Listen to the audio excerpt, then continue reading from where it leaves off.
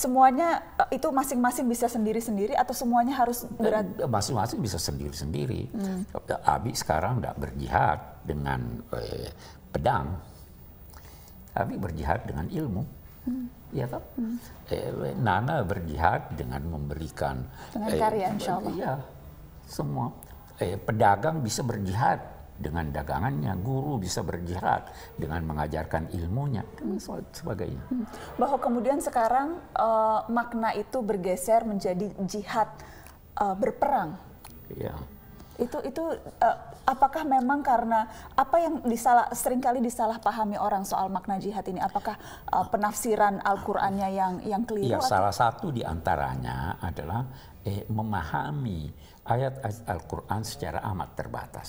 Kita tahu di dalam Al-Quran itu ada perintah berjihad dengan harta dan amfus. Amfus itu ada yang mengartikan jiwa. Sebenarnya amfus itu, nafs itu adalah totalitas manusia. Jadi segala yang berkaitan dengan manusia itu bisa dinamai nafs. Waktu. Kita tidak bisa wujud tanpa waktu kita bisa berjihad dengan waktu. Harta, kita punya harta, kita berjihad dengan harta. Uh, uh, ilmu, kita bisa berjihad dengan ilmu. Jadi karena membatasi kata anfus dengan nyawa, sehingga ada orang berkata jihad itu adalah eh, eh, berperang dengan berperang untuk mengorbankan nyawa. Hmm sebenarnya itu adalah bagian dari jihad hanya saja juga harus digarisbawahi bahwa jihad itu harus disesuaikan apa yang anda lakukan dengan target yang anda harapkan hmm. Begitu. Hmm. Tapi kapan kemudian itu menjadi wajar atau diperbolehkan atau kapan waktu-waktu uh, ketika bahkan nyawa pun karena kan tadi Abi bilang tujuannya kan sampai harus tercapai tujuannya. Betul, betul. Jadi kapan kemudian itu menjadi ya sampai harus mengorbankan nyawa?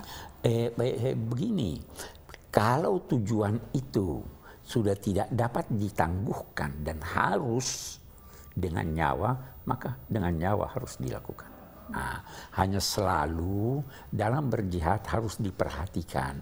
Yang pertama yang diperhatikan bahwa menyangkut nyawa itu karena agama memerintahkan kita salah satu tujuannya memelihara nyawa, maka itu yang terakhir yang harus dikorbankan. Ya.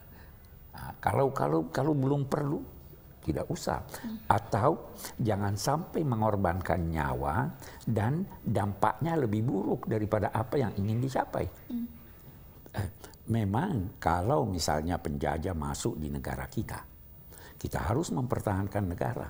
Nah, dalam konteks mempertahankannya, kalau terpaksa kita harus mengorbankan nyawa, maka apa boleh buat.